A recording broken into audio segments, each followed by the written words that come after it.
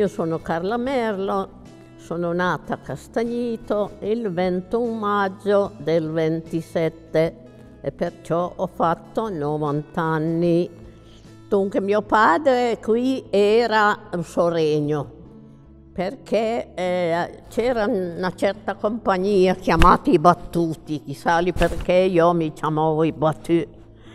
E lui era segretario, non so, c'erano quelle caselle e che mm, forse quando si segnavano pagavano qualcosa, c'erano tutti i nomi là. E, ehm, e poi eh, lui con questa chiesa ne aveva proprio una malattia. Mi ricordo che allora venivamo a piedi e eravamo passati da una strada lì, una scorciatoia che è di terra.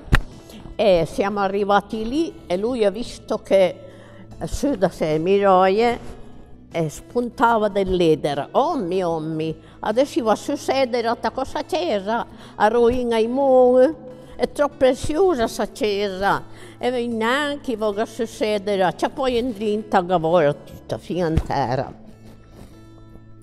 E dopo, eh, veniva sempre sì, un segretario di Battu, e so che a un certo punto aveva un certo registro che lo portava dal parroco a firmare una volta all'anno. Si vede che c'era una contabilità lì, magari, eh, non so, se spendevano 5 lire a farsi segnare. E lui teneva questi registri, andava a portarli a firmare.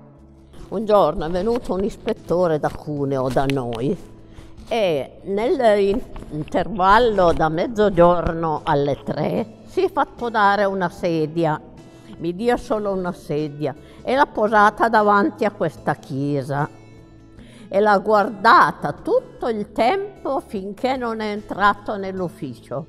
Ha sempre ammirato sta chiesa dicendo oh ma sarebbe bella, oh ma se è ben fatta. Tre ore non cambiò posizione insieme con la chiesa perché tanto la trova bella, ben fatta infatti è bella né davanti. E noi non venivamo qua, andavamo in parrocchia. Qui venivano gli uomini a vestirsi per una certa processione o sepolture, né? Il mio sì a vestisse. E invece noi dovevamo venire già su vestite di bianco perché lo il vel. E sì, eh, eh, dove con vestite voi, né? Ad ogni modo... Eh, Invece loro venivano tutti sì, e dopo sentivo si portura a porte, allora sì, venivo preso a si portura. Allora io mi chiamo Lerino Alessandro, 12 10 28.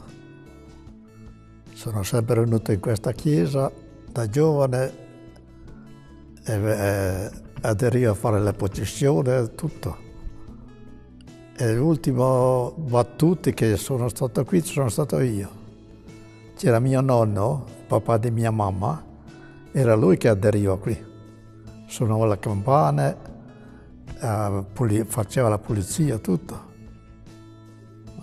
E poi quando c'era da andare a fare la processione, perché facevano 3-4 processioni alla primavera, no? E lui eh, girava così con gli altri. Poi quando c'era da suonare, c'era mancato uno, suonava la campana qui. Nel coro c'era 5-6 bastoni piantati eh, vicino al coro, no? che tutti quando andavano a prendere, quando faceva la processione, ognuno prendeva il suo, lo portavano in processione così. Poi c'era, un affare grosso che c'era il Signore, no? diciamo di Cristo, e la portava uno solo, sempre il medesimo, perché era pesante.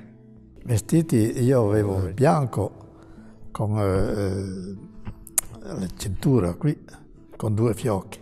E le donne, quelle più vecchie, avevano il velo giallo, un po' giallo.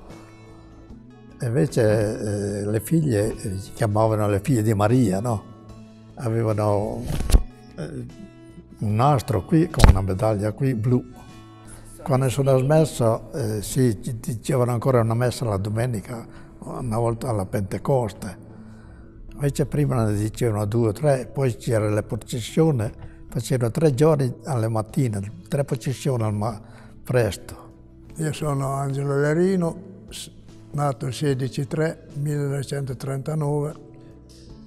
Posso raccontare poco perché solo ricordi degli altri più anziani, dei nonni, noi a processione quando facevano a maggio, se facevano le erogazioni, giravano i primi quando c'era una sepoltura, erano sempre a fianco alla barra e, e noi eri chierichetti, erano bambini piccoli, venivo soprattutto non sapevo neanche di dire alla sepoltura, venivo per quattro soldi perché c'era un, una paga. Tante cose abbiamo sentito da questa gente, cose dei raccolti questo gruppo di, di, di, persone che aiutavano anche la gente. Su una famiglia che non poteva andare avanti, era giù, come, come dire, non aveva soldi, per, arrivava fino all'anno o anche metà anno, non eh, poteva andare avanti come vita e loro eh, aiutavano. Gli aiutavano con un prestito, con qualcosa di denaro. E dopo qualche tempo si restituiva, si restituiva. Sono persone da ammirare, sono, erano persone anche di pochi studi ma tanto cervello.